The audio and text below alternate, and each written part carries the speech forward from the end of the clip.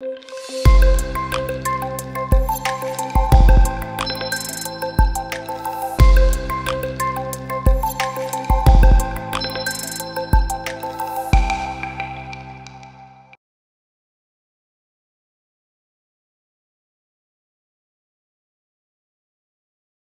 Hi everyone, welcome to the Summit for Asset Management East Coast. I'm live here in New York City and today I'm joined by Tim Garbien, who is Managing Director of Aladdin at BlackRock. So welcome Tim, great to have you. Thank you, it's great to be here. I literally just came off a, a panel where we're talking about outsourced operations.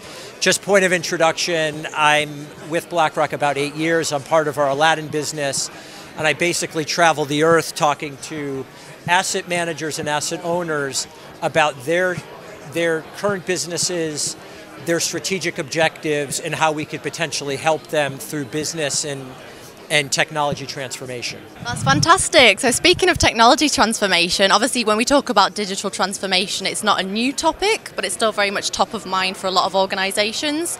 So, what is holding them back, and what, what do we need to do moving forward? So, digital transformation is a massive topic.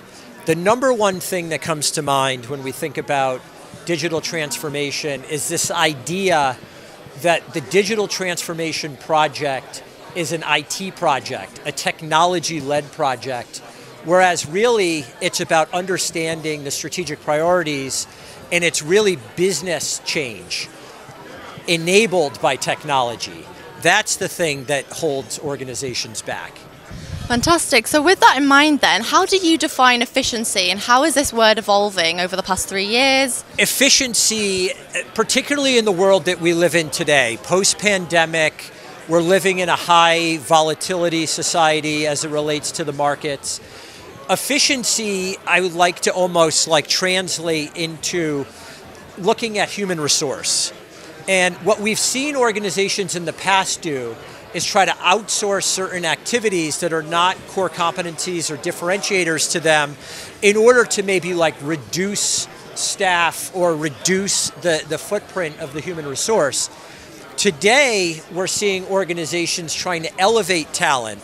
So, move people from doing lower value add activities to much higher value add activities, like in the asset management world, to do like alpha gen in data science rather than things like reconciliation and data interface.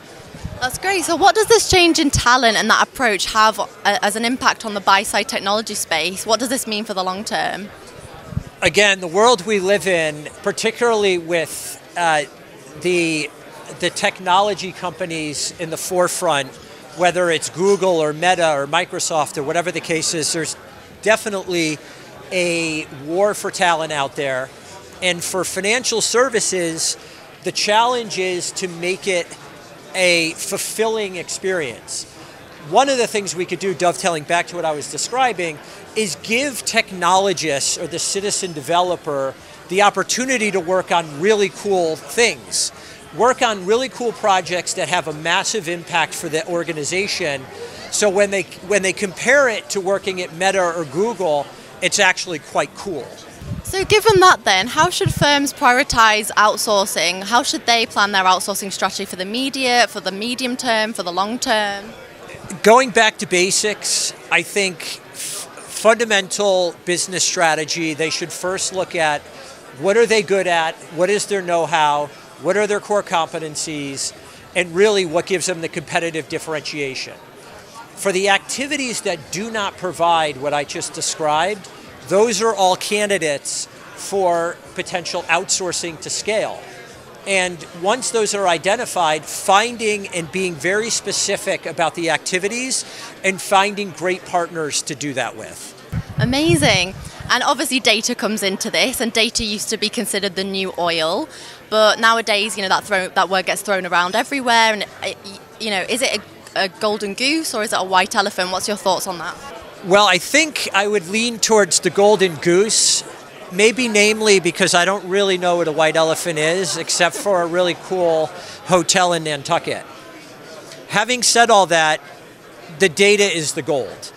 We believe at BlackRock that investment management is basically an information processing set of activities And getting that right is paramount to make sure that the portfolio managers, the people making investment decisions, have reliable, consistent, actionable data at any point during the day.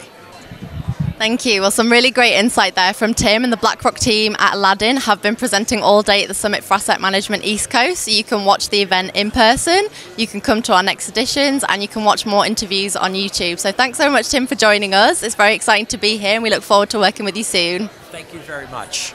And if you liked it, pound the like button and hit subscribe. Have a great day. Thank you.